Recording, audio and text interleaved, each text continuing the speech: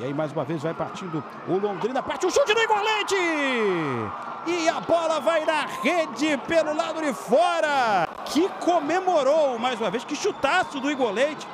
Como estava na bola o Thiago Couto e a bola vai na rede pelo lado de fora. Teve gente comemorando o gol aí, Rodrigo Saviani.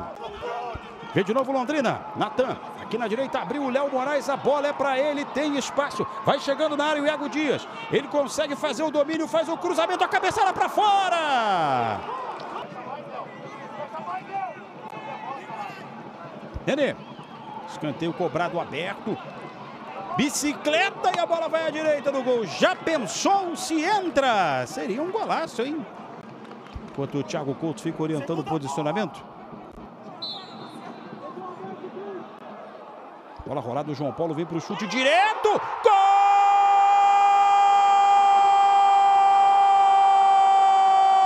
do Londrina! João Paulo, 33 minutos do primeiro tempo.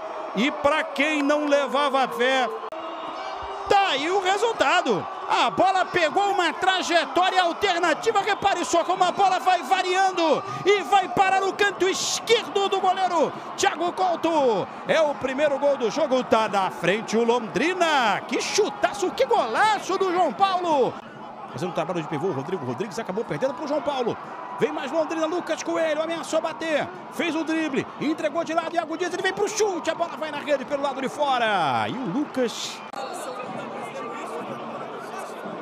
João Paulo. Vai pro chute, a bola desvia na barreira. Tapinha do Thiago Couto para jogar para escanteio.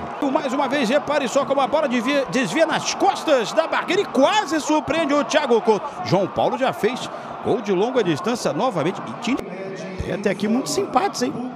Nessa noite, por enquanto, só o Londrina tá vencendo. Vem Reginaldo.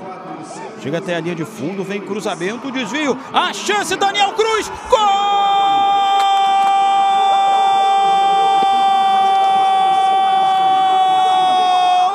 Juventude.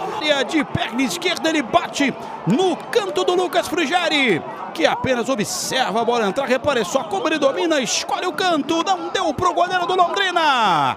Empata o Juventude. Um para o Juventude, um para o Londrina. Eu farei noite dos empates com o Rádio Santana. E agora, mais um vai se desenhando com esse gol aí do Daniel Cruz. Boa chapada do Daniel Cruz, né? Com calma, canhota, que não é a preferida, botou no canto. Dos 10 jogos, até aqui 7 empates, vai entender. Coisas da Série B. E com poucos gols, né? Ih, Ih olha o erro na saída de bola, vem Juventude! Gol!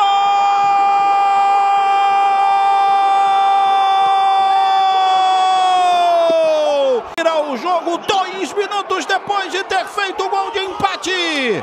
O erro na saída de bola do Natan. Deu o bote o Vini Paulista e saiu na cara do Lucas Frigeri. Aí foi escolher o canto e comemorar o gol da virada do Juventude.